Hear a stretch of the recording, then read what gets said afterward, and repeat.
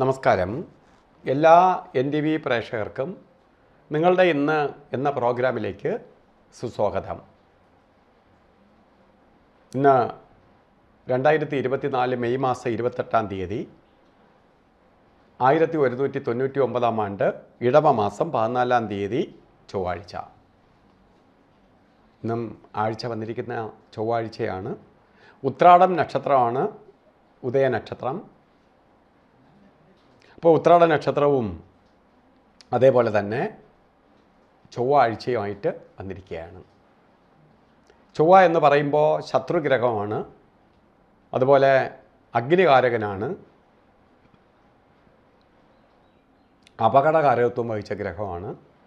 അപ്പോൾ ഈ ചൊവ്വാഴ്ചയ്ക്ക് വളരെ നമ്മൾ ചൊവ്വാഴ്ച പൊതുവേ കുറച്ച് ശ്രദ്ധയോടുകൂടി പോകുന്നത് നന്നായിരിക്കും. ഇന്നത്തെ നക്ഷത്രമൊക്കെ കൊള്ളാം എങ്കിലും ഇന്നത്തെ ദിവസം നല്ലതല്ലാത്തത് കൊണ്ട് ആകിലും ചില ദിവസങ്ങൾ നമ്മൾ അതുകൊണ്ട് അന്നത്തെ ദിവസങ്ങളിലെ പല കാര്യങ്ങളും മാറ്റിവെച്ച് ശ്രദ്ധിച്ച് പോകുന്നതായി കണ്ടിട്ടുണ്ട്.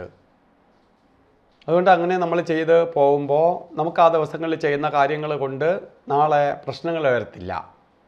അതുകൊണ്ടാണ് ഓരോ ശുഭകാര്യങ്ങൾക്ക് ചെയ്യാൻ വേണ്ടി പ്രത്യേക ദിവസങ്ങൾ ആചാര്യന്മാർ നിർദ്ദേശിച്ചിട്ടുള്ളത്. പക്ഷെ നമുക്കിന്ന് ചൊവ്വാഴ്ചയും അതുപോലെ ഉത്രാട നക്ഷത്രവും ഒക്കെ ആയിട്ട് ബർത്ത്ഡേ വന്നിട്ടുള്ളവർ അവർ ഒരു വർഷത്തെ ഫലത്തെയാണ് ചിന്തിക്കേണ്ടത്. നമുക്കൊരു ദിവസം നോക്കിയാൽ മതി. ബർത്ത്ഡേ വന്നിട്ടുള്ളവർ ഒരു വർഷത്തെ ഫലത്തെയാണ് ചിന്തിക്കണേ. വാർഷിക ഫലത്തെ ചിന്തിക്കുമ്പോൾ വളരെ ശ്രദ്ധയോടുകൂടി പോവേണ്ട വർഷം തന്നെയാണ് നിങ്ങൾക്ക്.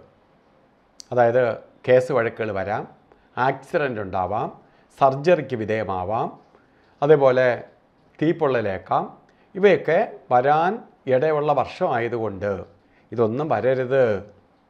ഇതിൽ നിന്നെല്ലാം നമുക്ക് അതിജീവിച്ച് പോകാൻ വേണ്ടി നമ്മൾ പ്രാർത്ഥനാ നിരതരായി ഈശ്വര ആരാധനയോടുകൂടി പോകണം ഒപ്പം തന്നെ മുരുക ക്ഷേത്രത്തിൽ ശരിക്ക് ചൊവ്വയുടെ ദേവത സുബ്രഹ്മണ്യ സ്വാമിയും ദേവിയുമാണ്. അതും ശക്തിസ്വരൂപിണിയായ ദേവി. അപ്പോൾ മുരുകനെ പ്രാർത്ഥിക്കണം ദേവിയെ ഭജിക്കണം ദേവി ക്ഷേത്രത്തിൽ ദർശനം ചെയ്യണം.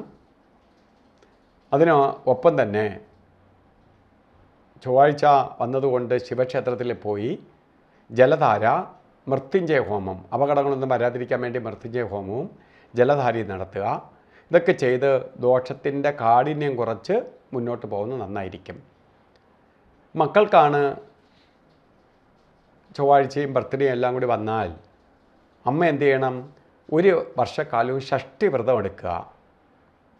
ഷഷ്ടിവ്രതം നോക്കി ഈ ദോഷത്തിൽ നിന്ന് അതിജീവിച്ച് പോകാൻ മക്കളെ സഹായിക്കും.